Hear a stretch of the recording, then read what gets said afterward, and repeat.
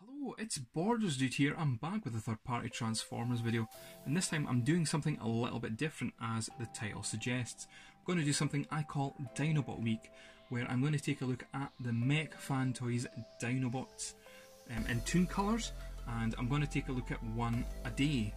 So starting from Monday, I'm going to take a look at Grimlock and work my way around the rest of the team.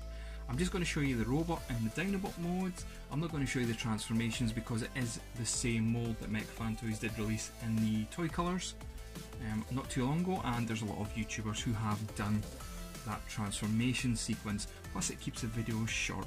And on the Saturday, I'll give you my final thoughts on the Mech Dinobots in this toon colour. I hope you can join me through the week, and thank you very much for watching this video.